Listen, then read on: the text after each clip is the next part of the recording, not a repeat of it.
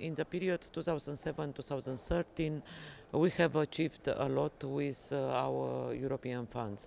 More than 300 billions were invested in regions, and all the regions benefited uh, from regional policies. There is not a region that um, did not use regional fund, uh, especially in key areas like innovation, uh, uh, growth generating. Uh, so we have uh, so many thousands of new jobs creating, also SMEs initiative.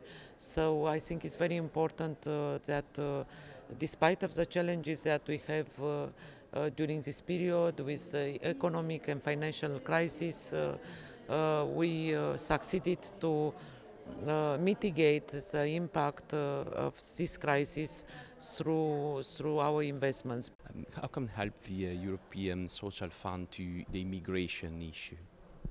So first of all, uh, I'm responsible for Regional Development Fund and Cohesion Fund, uh, but I am working with my uh, colleague Commissioner Thyssen on combining all our, our resources in dealing with uh, with the migrants. Our fund, Regional Development Fund, already contributes uh, to to dealing with this issue, especially in Greece and Italy, with mobile hospitals, uh, open centers.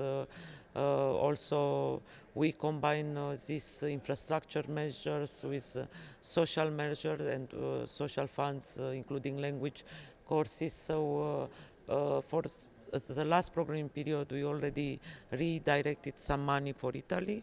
Now we are working hand in hand with Greece and Italy on uh, making them aware of all the possibilities that they have. First of all, through the Fund for Asylum, which is for uh, uh, for emergency uh, measures, and uh, of course through ERDF uh, we have this uh, thematic objectives of social inclusion, address the poverty, the most vulnerable. So we are working also with the cities. You know that we have organized already some meetings with uh, the mayors from the cities which are most affected by the migration because despite of uh, what uh, the political level is doing the mayors are the ones who should find uh, very quick solutions. And uh, i think it was a very good meeting and we will organize more meetings uh, in order to exchange good practices. And uh, the most important thing that we will follow is to avoid segregation because ghettos will i think are the most dangerous for the future of european union Last short question. Um, is there any preview for the next program period, regional funds, 2021-2027? So we started the discussion about uh, post-2020 cohesion policy.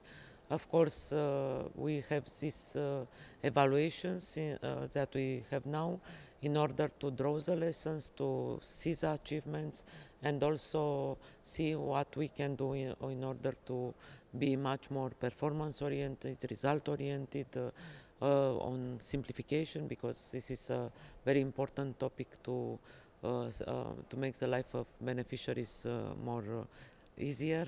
So we start working with uh, on this uh, issue with uh, European Parliament, Committee of the Regions, and of course other stakeholders, cities. We involve them in because people who are working on the ground they know better what is working, what does not work. So it's very important to engage all the levels when we put up the new reform cohesion policy.